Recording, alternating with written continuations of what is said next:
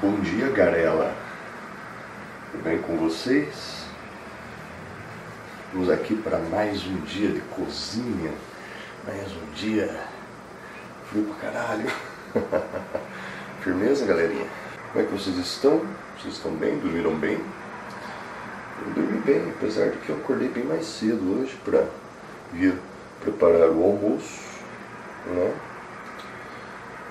E hoje vamos ter um estrogonofezinho delícia de frango. Vamos ter um porquinho de panela. Vamos ter uma comidinha bem delícia hoje. Eu levantei um pouco mais cedo hoje. Acordei com um pouco de dor de cabeça. E agora estou aqui na cozinha já me preparando para iniciar os trabalhos. Hoje é dia 28 de abril, está rolando aquela tal daquela greve geral, paralisação geral, não sei a quantas anda. Pelo que eu estava vendo no feed do meu. Ali no feed, né? na internet, no meu Facebook, Twitter e tal, parece que tá tudo parado aqui em Curitiba mesmo. Mas eu não posso entrar em greve posso entrar em greve por uma razão muito simples. Porque esse negócio é meu. eu tenho que trabalhar para pagar minhas continhas, né? Bom, mas eu nem vou entrar no mérito da conversa sobre greve e tudo mais. Até porque eu não sei o que dizer, não sei. Não sei o que dizer, eu não sei opinar. Vamos fazer aí a Glória Pires, eu não sei, não sei opinar. Porque eu nem li sobre, eu não me informei muito sobre eu fui tentar ler os, os textos relacionados ao assunto, falando das próprias, da própria, do próprio projeto de lei, porra toda. É uma leitura muito pesada, é uma leitura muito é, técnica, não tenho envergadura técnica para lidar com isso, não sei, muita coisa ali é difícil, você tem que pensar muito a respeito, tem que procurar entender alguns termos e tem que ter lido, conhecido muitas outras coisas antes disso. Então eu acho que é leviano eu querer dar alguma opinião sobre essa parada toda. É... Desculpa aí, cara, mas eu não tenho tempo para essas paradas. Eu tenho gravado esses vídeos assim, desse jeito, justamente porque meu tempo anda curto, né, cara? Eu tenho que trabalhar, tem muita coisa pra fazer. Não dá pra ficar problematizando questão da internet, ficar discutindo sobre um monte de coisas. Ah, mas isso é falta de civilidade, ah, mas isso por isso que as pessoas vão se aproveitar de você. Olha, cara, paciência, desculpa, mas eu, eu não tenho tempo mais para essas paradas. Não dá. Tem muita coisa para fazer na minha vida. É... Eu não tenho nem gravado muita coisa ultimamente, eu não tenho nem falado sobre vários outros assuntos, porque não dá tempo de ficar lendo, sabe? É, e ainda assim, cara, mesmo quando você procura fazer todo um trabalho de pesquisa em cima de alguma coisa que você vai fazer para postar no vídeo, sempre vai ter um filho da puta que vai vir te falar merda, entendeu? É, dizendo que você está errado, mesmo quando você está certo, ou ao invés de te apontar onde está o erro de forma educada, querendo cagar na sua cabeça, então que vá pra puta que igual pra casa do caralho. Prefiro gravar meus videozinhos aqui na cozinha de boa, falando besteira com vocês e cozinhando, que eu ganho mais, não é mesmo? Acredito eu que a partir de segunda ou terça-feira a gente vai começar a servir sopas, olha que legal. Vai começar a entregar sopas. Então um cardápiozinho, sopas e caldos aí para quem quiser recebê-las em casa modéstia à parte, tá bem bacana. Eu vou focar em, em, sopas e caldos que são mais clássicos aí, que todo mundo conhece, todo mundo gosta. Porque agora esfriou, hein, gente? Agora resolveu.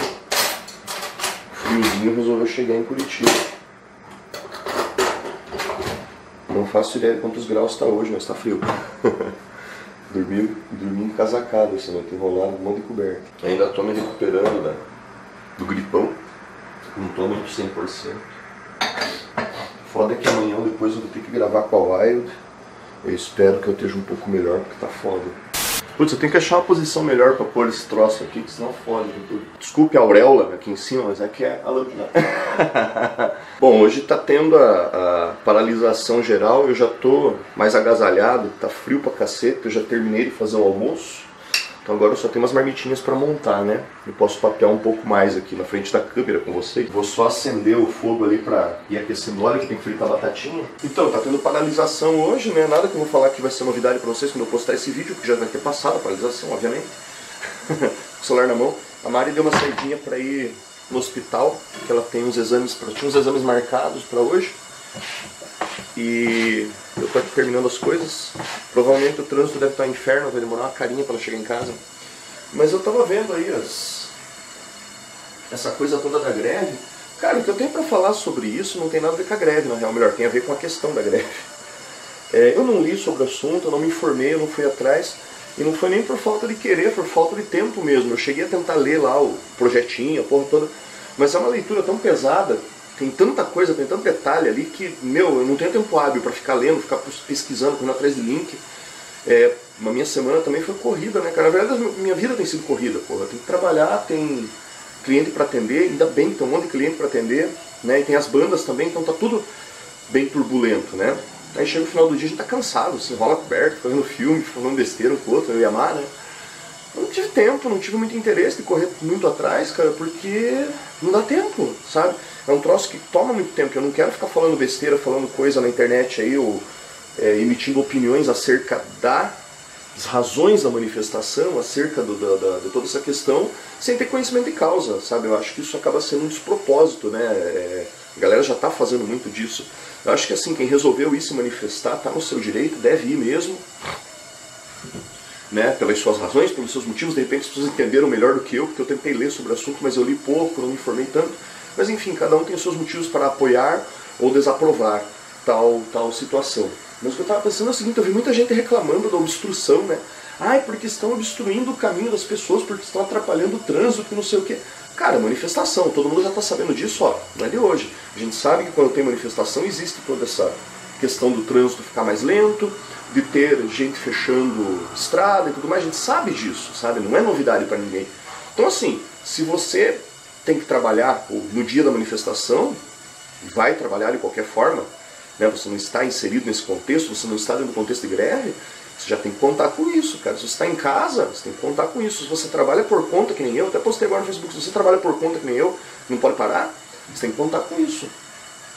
Né? Você tem que saber que, que vai acontecer, que o dia vai estar difícil, vai estar turbulento, e tem que contar com isso. Tipo, eu já avisei meus clientes que eu vou atrasar um pouco para fazer entrega, né? Eu já avisei, eu já sei que vai ser um dia complicado para a Mari sair fazer as entregas, que o trânsito vai estar caótico. Eu já sei que tem lugares da cidade que eu não vou ter acesso hoje, que eu não vou poder levar, então eu já avisei meus clientes. É isso, cara, sabe? A gente tem que lidar com a realidade. Independente de você concordar ou discordar do bagulho, tá rolando, entendeu? E a gente já sabia que ia rolar, então você tem que se organizar para lidar com a situação, para lidar com a realidade, né? Agora, eu não vou nem entrar no mérito. Ah, mas por que você não está se manifestando? Por que você não fez isso? Cara, eu não tenho opinião formada 100% sobre isso. Como eu disse, seria uma incoerência gigantesca da minha parte eu querer pagar de entendidão de um assunto que eu nem fui procurar me informar mais aprofundadamente. Não tive tempo. É... a minha vida não é só a internet, só fuçar em coisa agora, menos ainda, né? Ah, então é isso. Por isso que eu até tenho aproveitado para fazer esses vídeos aqui na cozinha, conversando com vocês, falando umas besteiras, aproveitando, né, que eu tô de boa. Enquanto eu tô cozinhando, porque senão eu acabo não colocando mais nada no meu canal também, né? Tipo, acaba não dando tempo. Eu até peço perdão mais uma vez pela qualidade dos vídeos, que não tá tão boa de áudio nem de vídeo, mas acho que logo vai melhorar. Né? Eu estou aí para ver esquema para arrumar uma câmera e tal. Logo as coisas se ajeitam, mas por enquanto eu estou gravando assim, de um jeito mais informal também. Né? Agora eu já pude colocar um cachecolzinho, uma toquinha, porque eu não vou mais cozinhar, agora eu só vou montar marmita, né? fritar a batatinha e tal. Mas é isso, sabe, gente? Eu penso que é, o, que eu, o que eu vi hoje foi que vários pontos da cidade estão tomados pelas pessoas, pessoas estão se manifestando. Eu moro próximo da rodoviária aqui em Curitiba, então eu escutei barulho de carro de som, escutei barulho da galera é, gritando aqui por perto e tal. Mas eu não sei como é que tá lá fora. Acho que eu vou ter mais informações na hora que a Mari chegar em casa, né? Porque a gente não saiu de casa hoje para nada, né? É...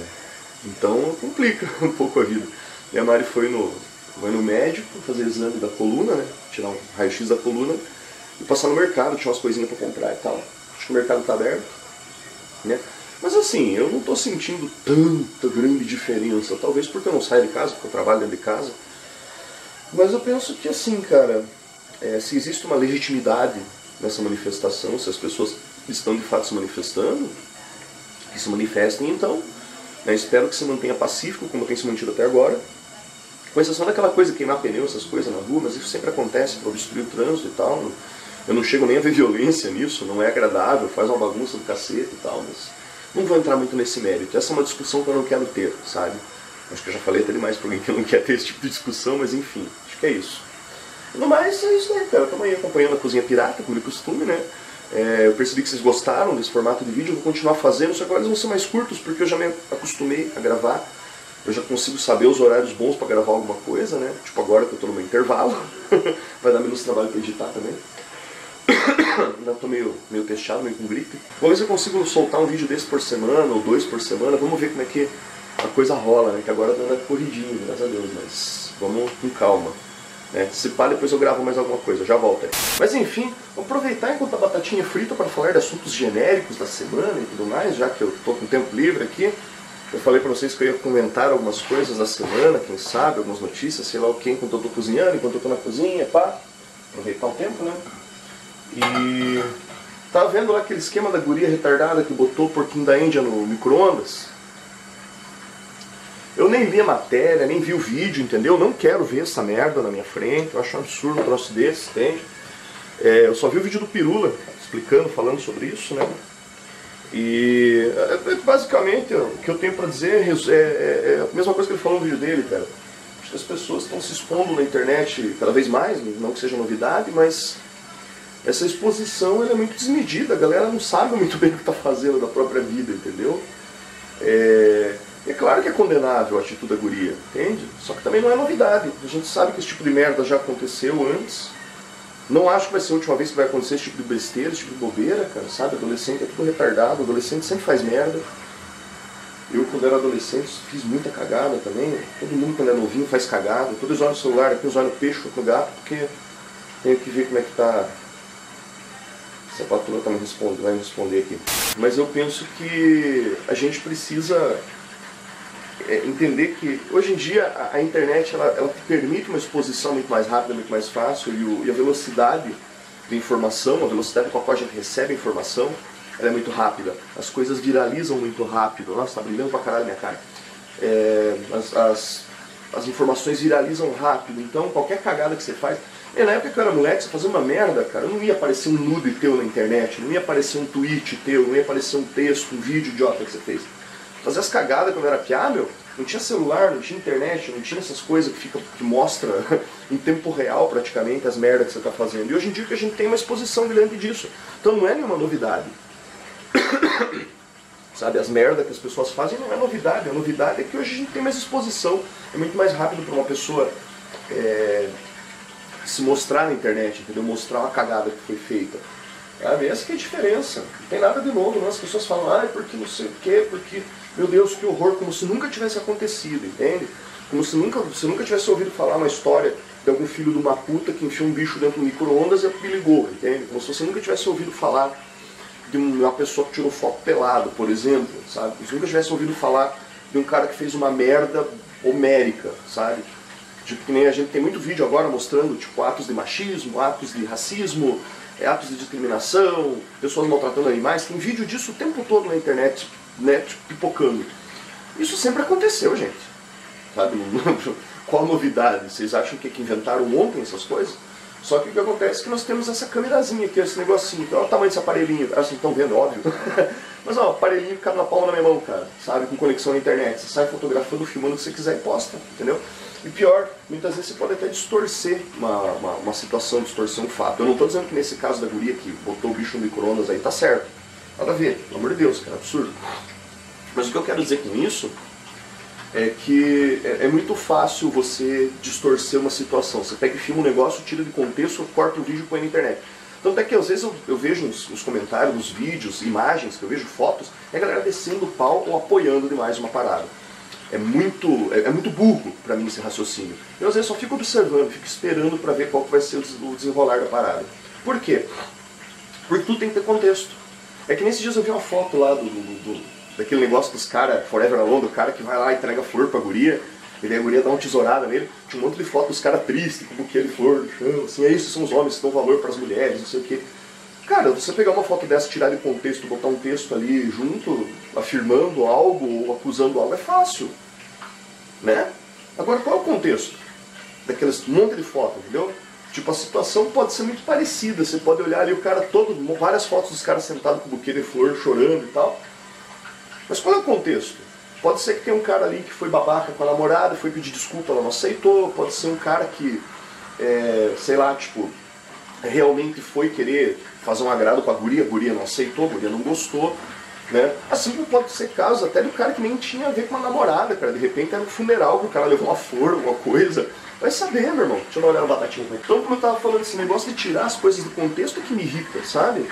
Tipo, meu, se você quer é, é, disseminar alguma coisa, se você quer mostrar uma informação, mostra uma informação. Se você quer prestar algum tipo de jornalismo informal, tem que ser honesto, pelo menos. Eu sei que as pessoas não são honestas em geral, mas tenta ser honesto, porra. Fala real. Entendeu? Mostra a real, sabe? Escreve o que aconteceu de verdade, mano. Relata o que aconteceu de verdade.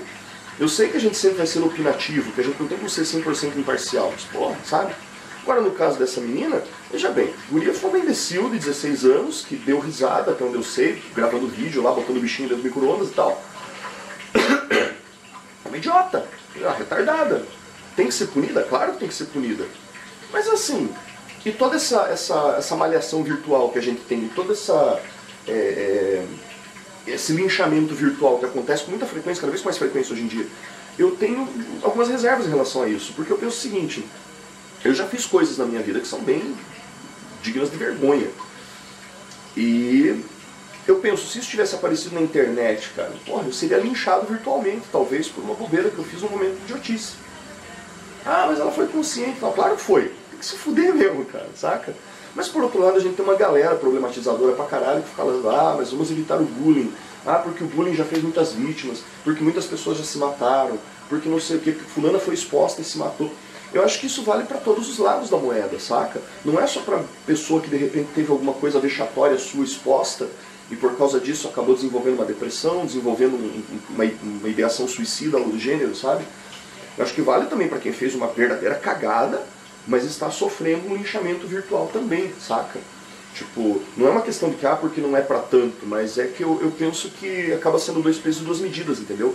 Você tem uma pessoa que sofreu um, um, um ataque virtual por uma merda que fez, é, já teve as contas derrubadas e tal. Eu acho que, na verdade, sabe o que eu penso sobre essas paradas? Eu acho que devia existir algum tipo de, de, de punição, possibilidade de punição de afastar algumas pessoas da internet, sabe como é que é?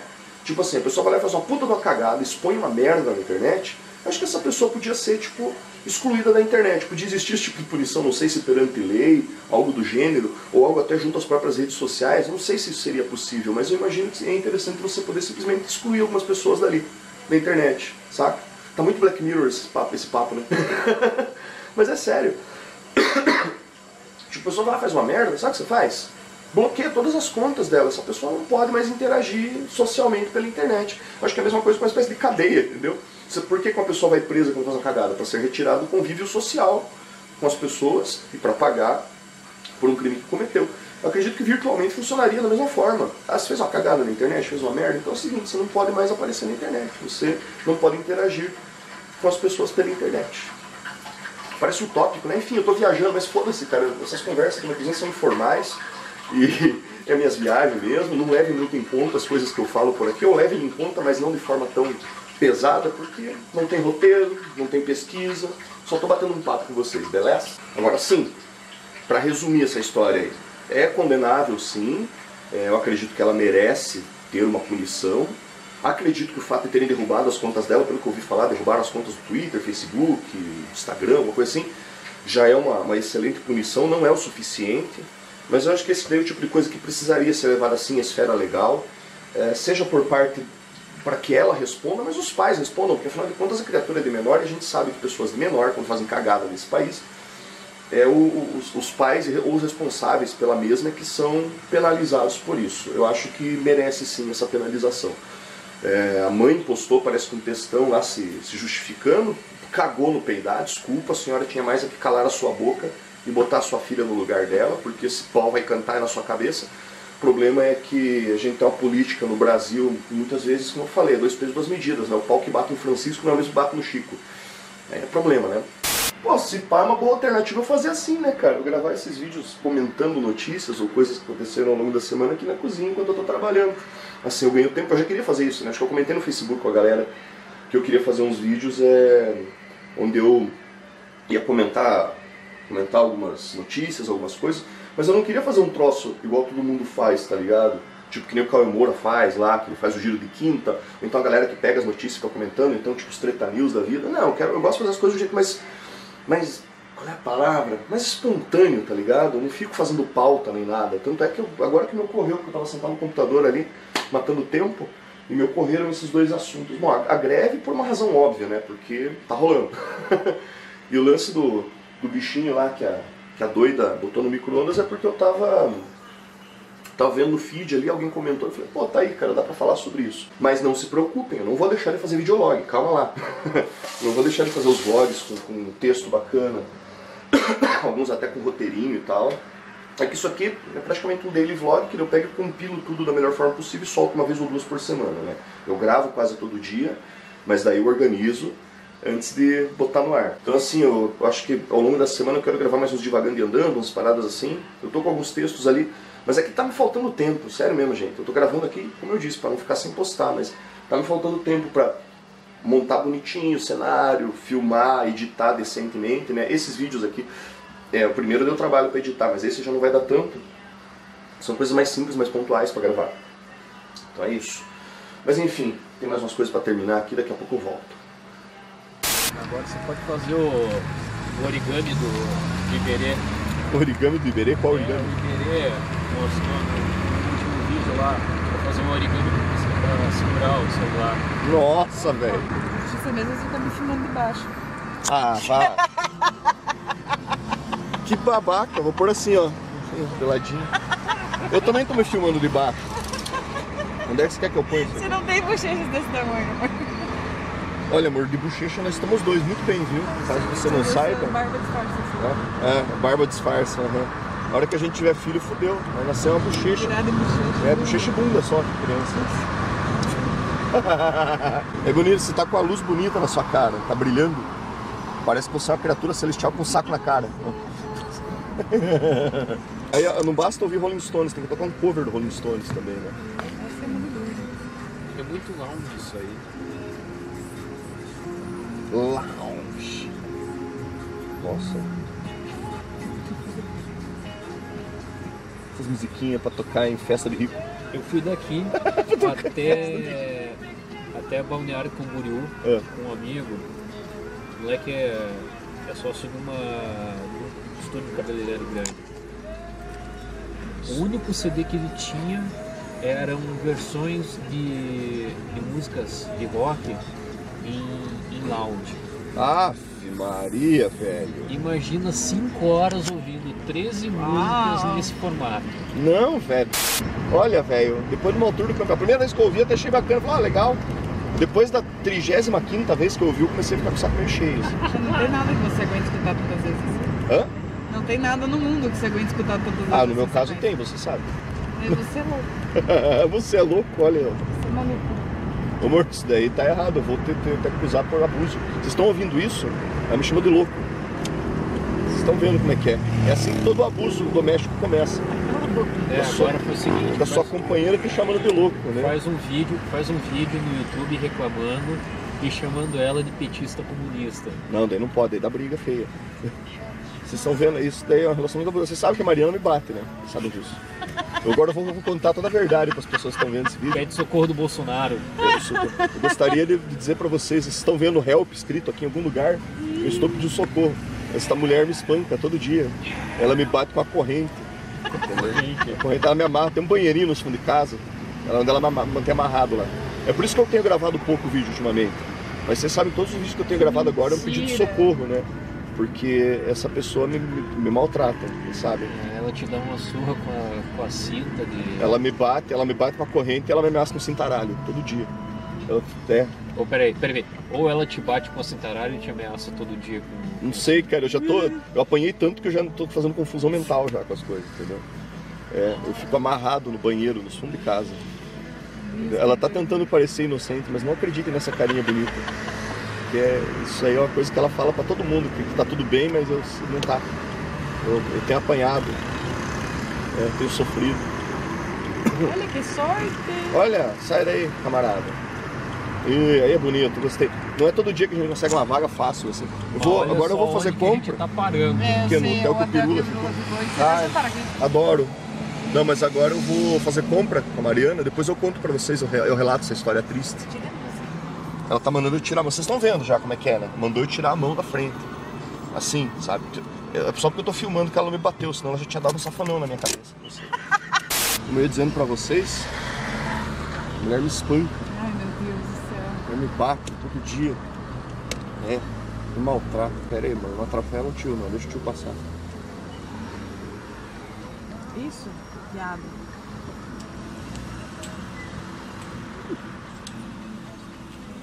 Já tá quase morrendo meio da rua, tem que passar em cima. Viu? Ela é legal com as outras pessoas, ela protegeu o velhinho, mas eu ela espanca todo dia.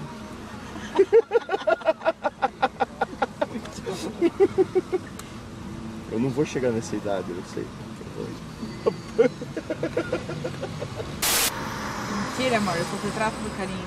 É, carinho na bordoada. Oh, tipo essa noite, essa noite ela tava possuída pelo. pelo tava possuída pelo, pelo ritmo ragatanga a madrugada inteira. Mariana estava com o demônio encarnado. A mulher saltitava e pulava a noite inteira na. Seis e meia da manhã eu falei, eu vou ter que levantar, não tem condição. Eu vou ter que levantar. Vai dormir no sofá, você gosta de dormir sofá. Não, eu vou. Fui pra cozinha. Pra cozinha. Fui lá trabalhar. Porque aqui não tem greve. Ai, judiação. Tá com dor nas costas, pecado essa criança. Aí eu acordei cedo, por isso que eu tava desde cedo filmando, falando merda com vocês, sabe? Aí. Mariana está enrolada, a coberta é grande, eu consegui tirar a coberta inteira no meio das pernas, não sei como é que ela conseguiu fazer essa, essa arte. Eu lembro que a última vez que eu vi Mariana pela manhã, ela parecia um burrito enrolado na cama. Aliás, um burrito enrolado ali assim. Vocês jogaram Worms? Lembra aquele joguinho Worms? Lembra desse joguinho? Os vermezinhos? Jogava. aparecendo lá, vermezinho. Munhequinha. Munhequinha. Ih, como é que é? O primeiro de muitos. é, pois é, eu fui pra cozinha. Eu deixei. Deixei a Mariana lá. Deus, no burrito. Então, vejo, já vejo nuvens esparsas na cidade. Ontem tava mais bonito, não tinha nuvem. Olha esse céu, povo. Olha. Tem alguém aqui, tu um tapa e rouba meu É. troço, pois é. Não, aqui tá de boa. Não, ninguém vai querer um iPod 1. Não, ninguém vai querer um iPod 1. Tá bom, obrigado. Só me humilha também, vocês podem perceber, né? Que eu Mas faço- amor, é só uma forma de garantir, entendeu? Eu, agora eu vou só andar com tecnologia velha. Eu posso- Não vou trocar esse carro, ele tá Não. com 7 anos agora. Deixa, Ninguém vai vamos- roubar. Amor, eu acho que a gente devia até Fudido trocar. A gente podia até trocar de carro, podia comprar um Kombi. Tem carro mais falência do que Kombi nesse mundo? Ainda mais nós fazemos compra do mercado, deixar. A gente deixa umas três batatas dentro da compra apodrecer com aquele cheiro de feira. Hein? Quero ver quem que rouba uma Kombi. Larga umas batatas assim e, o- e o, e a berinjela. Não berinjela. tem nada que seja mais fedorento que Então, berinjela é pior, berinjela tem cheiro de bosta de, de, de gente. Mentira, que a berinjela apodreceu uma Não. vez ela não foi tão ruim. Ela tem cheiro e consistência de merda de, de alguém que cagou ali, cara, e deixou. criança, né, merda? Não, de criança, não, de adulto, tem cheiro de bosta, entendeu? Tem cheiro de, de carnaval, sabe? Que a pessoa caga na rua. Esse é o cheiro de berinjela quando apodrece. Cheiro de carnaval. É cheiro de carnaval no litoral. Pós-carnaval. né? Pós-carnaval. É cheiro de pós-carnaval em Paranaguá, cara. É disso que tem. Né? Eu sei porque eu morei lá, gente. É, não tô falando mal, adoro Paranaguá, mas olha. Litoral, né? Se for pro litoral, Mais uma maravilha. barbearia. Mariana acabou de me Uh, presentear com beleza. um par de croques. Aham. Eu tô bem feliz, é sério, não é piada não, eu adoro croque. Abaixo o preconceito com o croque, o croque é do caralho. Vocês são os frescos da porra. Ei, croque é feio. Cro- Croque é tipo a vizinha gostosa, feia. É feia, mas o cara come do mesmo jeito, não conta pra ninguém. Não, amor, é, fe- é você só, só usa em casa. É tipo amigo pantufa. Amigo pantufa é aquele que a guria dá uns pega, mas não conta pra ninguém, só em casa, pra ninguém ver. Só em casa. Nossa, amigo pantufa foi foda. O que me faz lembrar de um termo bastante é, coloquial, usado por um brother meu para se referir ao ato sexual, Ele falava, é só soco na pantufa. soco na pantufa, meu. Expressão estranha. A primeira vez que eu ouvi isso, eu, a minha reação foi rir muito. Depois eu fiquei tentando imaginar o que ele quer dizer com soco na pantufa. Eu preferi não pensar muito a respeito. Pensem vocês, não respondam nos comentários. Obrigado. Um troço meio tipo American Pie. assim. É um troço meio América. Nossa! Que horror. Então agora a Mariana, eu falei pra Mariana que eu vou com ela a qualquer lugar, até no inferno se ela me chamar. Aí ela falou pra mim, vamos no mini preço comigo. Fudeu, eu e minha boca grande, né? Mas eu tava falando que eu tenho um limite. Eu vou com ela em qualquer lugar, até no inferno. Mas na barateira eu não vou. Quem é de Curitiba e região conhece a barateira. Barateira, pra quem não sabe, é uma loja de calçados femininos. Dizem pra mim, já me disseram que tem calçado masculino lá, nunca vi. Mas o fato é que é uma loja que vende muito barato calçado e é simplesmente você sente uma batalha campal de mulheres naquele lugar. Você chega lá, É tipo cara. os primeiros 15 minutos do Resgate do Soldado Ryan. É tipo os primeiros 15 minutos do Soldado Ryan, só que atrás da sapatilha, atrás uma bota, né? Essas coisas. Já vi gente se estapear. Eu já vi mulher brigando nesse lugar. Uma vez eu fui com a minha mãe. Pela mãe a gente faz tudo, né? É, loucura. Fui com a minha mãe uma vez. Eu vi, cara, eu, eu vi coisas que eu queria desver naquele lugar. Tipo, mulheres querendo bater uma na outra por causa da sandália. E aí, galérica. Bom, deve fazer uma hora e meia que a gente chegou das compras. Sair pedido, né? Agora eu tô com o cu pegando fogo aqui, foi muito pedido pra sair. Os meus vídeos da Cozinha Pirata estão virando vídeo no carro. É, só. É porque ontem eu não consegui dar tchau pra vocês. eu não consegui terminar o vídeo ontem. a gente vai fazer compra, hoje é sábado, a gente tá de folga, entre aspas. A gente vai fazer compra, pra variar. E eu não terminei o vídeo ontem porque o bicho pegou, meu cu pegou fogo, teve um monte de pedido, graças a Deus. Aí foi, o bagulho ficou doido. Pega a porra. É, foi por isso. Então faz quanto que eu tô terminando o vídeo aqui. Agora a gente vai na loja de cozinha e vai comprar a embalagem. E depois eu vou fazer sopa. Agora a gente vai ter sopa também no cardápio. É, que a gente é chique. Agora cheio de falar besteira com vocês, que tá doendo meu braço ficar parado aqui. e aí, Garela, voltei. Bom, mais cedo a gente saiu fazer compra e tal, como vocês devem ter visto no vídeo. E agora são quase 10 horas da noite, eu tô terminando meu dia. Pena que vocês não podem sentir o cheiro que tá dentro dessa cozinha, porque naquele panelão ali atrás eu tenho caldo, que eu fiz um caldo de frango e um caldo de legume hoje, porque eu vou começar as minhas sopas na segunda ou na terça-feira. Segunda-feira é feriado, então na terça-feira eu já vou começar a começar a entregar sopas também, porque tá um friozinho, cara, dá uma delícia pra sopa.